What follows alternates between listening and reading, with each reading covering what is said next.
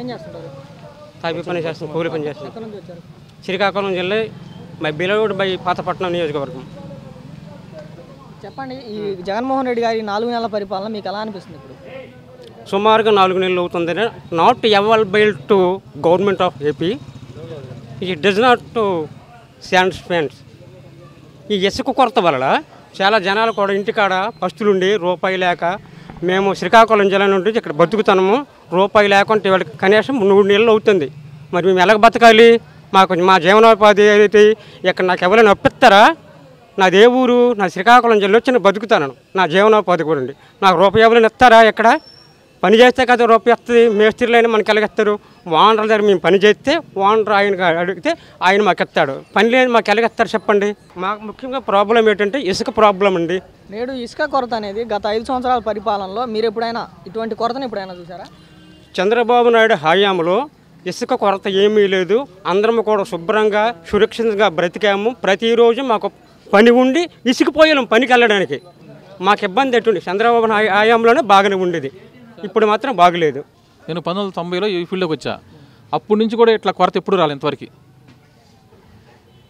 తొంభై కాడి నుంచి నేను చూస్తున్నా. అంతకుముందు సంగతి నాకు తెలియదు తొంభైలో నేను దీంట్లోకి వచ్చాను. అప్పటి నుంచి ఇప్పటికి ఇంతవరకు ఎక్కడా కొరత రాలా.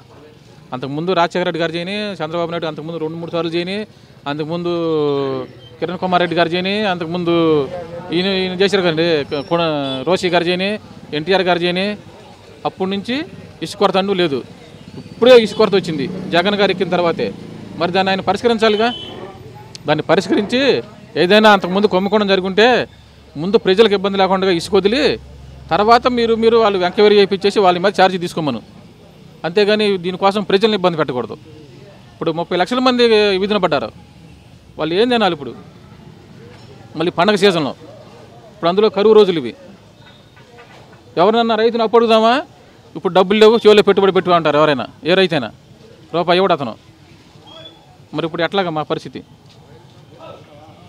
వీళ్ళు బతకడానికి వచ్చారు శ్రీకాకుళం నుంచి. అక్కడ మేము రైతు పని చేస్తేనే రైతు మాకు ఇచ్చేది. మేము ఇవ్వాలన్నా? ఖర్చులకి మరి వాళ్ళు వీధిన పడ్డారు మేము వీధిన పడ్డాం అందరూ వీధిన పడ్డాం. జగన్మోహన్ రెడ్డి గారి పరిపాలనలో మీ మీ యొక్క అనుభవం ఎలా ఉంది? ఆయన పరిపాలన? ఆయనకి ఎక్స్పీరియన్స్ లేదు పాలిటిక్స్లో ఎక్స్పీరియన్స్ లేదండి ఎక్స్పీరియన్స్ లేకపోవడం వల్ల వాళ్ళు బడాదారులు ఇబ్బంది లేకుండా వాళ్ళు శుభ్రంగా బ్రతుక్కుంటున్నారు. మా పేదలకు చాలా ఇబ్బంది కలిగిస్తున్నారు. చంద్రబాబు నాయుడు హయాంలో ఏంటంటే వాళ్ళు బ్రతికినా మాకు బ్రతకనిచ్చినారు. వాళ్ళు బ్రతుకుతున్నారు మాకు బ్రతకనివ్వలేకపోతున్నారు ఇప్పుడు. ఈ సందర్భంగా మా మీడియా నుంచి జగన్మోహన్ రెడ్డి గారిని మీరు ఎటువంటి ఏ విధంగా మీరు అడగాలనుకుంటున్నారు ఈ విషయమే అడగాలనుకుంటున్నాం. ఓన్లీ ఇసుక గురించి అడగాలనుకుంటున్నాం. మేము బ్రతుకుతెరంకి వచ్చినాం కాబట్టి మాకు బంగారం వెండిచ్చి మనం చెప్పలేదు. ఇసుక వదిలితే మాకు చాలు. మేము శుభ్రంగా బ్రతుక్కుంటాం. భార్య భర్తలు ఉన్నాం రోజుకి వెయ్యి పదిహేను వందలు ఆరు వందలు ఏడు వందలు తెచ్చుకుంటాం. హాయిగా మా పిల్లలకు చదివించుకొని మా జీవనోపాధి గడుపుకొని ఇంటికి అద్దిస్తూ గ్యాస్ కొంటూ ఇవన్నీ మంచి చెడ్డ చేసుకోగలం. ప్రస్తుతానికండి ఇసుక మాత్రం రిలీవ్ చేస్తే మాకు మాకు ఆనందంగా ఉంటుంది. అసలు ఇప్పుడు ఇసుక ఆగిపోవడానికి గల కారణాలు మీరు ఏమనుకుంటున్నారు ఇసుక ఆగిపోవడానికి కారణం ఏంటంటే ఏదో మా దగ్గర నుండి గవర్నమెంట్కి ఏది ఉపకారం చేసేస్తామని ఆపుతున్నారు. అప్పుడు రెండు వేలు రెండు వేల ఐదు వందలు కొని ఇప్పుడు ఎనిమిది వేలు తొమ్మిది వేల రూపాయల లెక్క బ్లాక్లో మాకు ఇస్తున్నారు.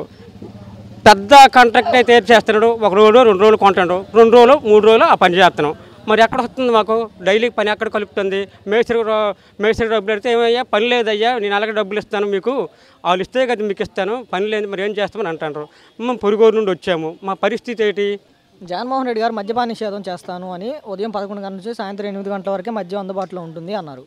కానీ నేడు కొన్ని ప్రాంతాల్లో పదకొండు అయినా కానీ మద్యం ఇంకా అందుబాటులోనే ఉంటుంది. ఈ విధంగా చూస్తే అసలు మద్యపాన నిషేధం జరుగుతుందా? అసలు జరగట్లేదా? మద్యపాన నిషేధం అనేది ప్రజల్లో ఒక ఉద్భత్తి కలిగింది. ఎందుకంటే బాటిల్ మీద ఇరవై రూపాయలు వేసి కాంట్రాక్ట్లు పెంచడం తప్పించేసి ప్రజలకు ఉపకారమైనటువంటిది కాదు ఇది. ఇప్పుడు బాటిల్ ఇప్పుడు అంటుంది? నూట ఇరవైది నూట నలభై చేశారు. తొంభై రూపాయలది నూట ఇరవై చేశారు. ఎనభై రూపాయలది వంద చేశారు. ఇలాంటివన్నీ ప్రజలకు నష్టము. ఒకవేళ అక్కడ బాటిల్లో తాగితే ఒక దగ్గర పడేసేవాళ్ళం. ఇప్పుడు ఏంటంటే పొలాల్లో అంటే ఏ గరువులో చూసినా ఏ దెబ్బ చేసినా ఏ డొంకల్లో చూసినా పరిస్థితి ఏంటి? ఒక ఆవులు వెళ్తాయి ఒక బర్రెలు వెళ్తాయి ఒక లేడీస్ వెళ్తారు. పొలాల్లో చూస్తే గొట్ల మీద పుట్ల మీద ఉంటాయి బాటిల్స్. మాకు ఏంటంటే నిషేధం అనేది జరగదు. నిషేధం జరిగితే చాలా జనాలు రాత్రి ఎంతో అంతా తాగేసి పడుకున్నటువంటి ఉన్నారు. అలాగే లేనటువంటి వాళ్ళు కూడా పూర్తిగా నిషేధం చేస్తే చాలా ఇబ్బంది జరిగిపోద్ది. Please subscribe Myra Media. Please subscribe Myra Media Myra మీడియాకి సబ్స్క్రైబ్ చేయండి. మైరా మీడియాకు సంబంధించి దాన్ని సబ్స్క్రైబ్ చేసుకోండి. Please subscribe Myra Media subscribe Myra Media చూడండి. ఎంజాయ్ చేయండి.